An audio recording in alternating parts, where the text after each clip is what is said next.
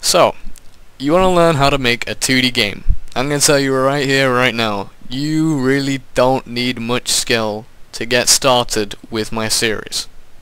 So let's get started right away with this introduction video. What are you going to be needing?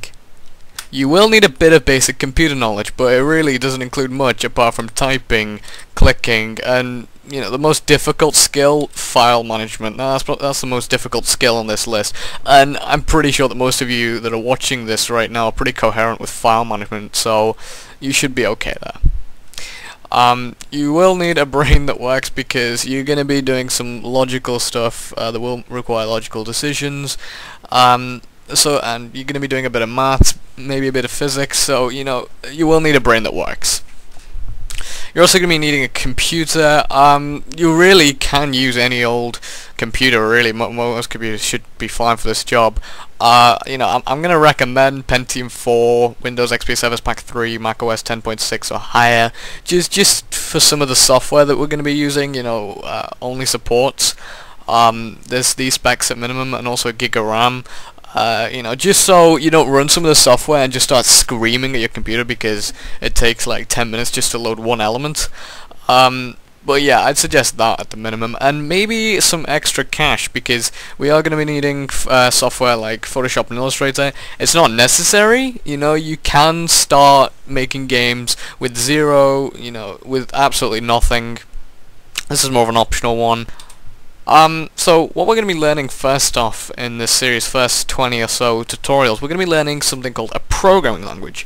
Now, uh, I believe the official uh, Google definition of a programming language is an artificial language made to send instructions to a machine. Um, a programming language is primarily used to create, sorry, computer software. Um, the most popular pro programming language that I managed to pick out were C, C Sharp, C++, Objective-C, Java, and Python. Uh, the language we're going to be learning and using throughout the series is indeed Java, and along with Java we'll be using a library called libgdx. We'll dive into uh, libgdx you know, later on, so you don't have to worry about that. But we're going to be using a language called Java, and there's two big reasons why. The first one is so we can deploy to a wide range of platforms, and the second one is that it's one of the easiest languages to learn. So, what platforms will I be able to publish to? Well, for free, you can publish to all desktop uh, operating systems, Windows, Mac, and Linux. You can also publish for free uh, to the web using HTML5. You can also publish uh, on iOS, which includes iPhone, iPad. You will require a Mac, and it will cost you about $400 per year uh, you know, you need uh, two two separate licenses for that. $400 per year. However, if you're a student, it will only set you back $200 a year. That's for iOS. You can also publish to Android. Uh, that will be a $25 one-off fee.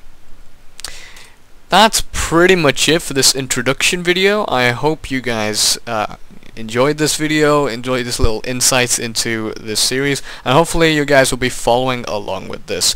Uh, in the next tutorial, we'll probably be setting up everything, installing a lot of software, doing a lot of boring crap, uh, but in tutorial 3, we'll get started with the nitty-gritty nice stuff.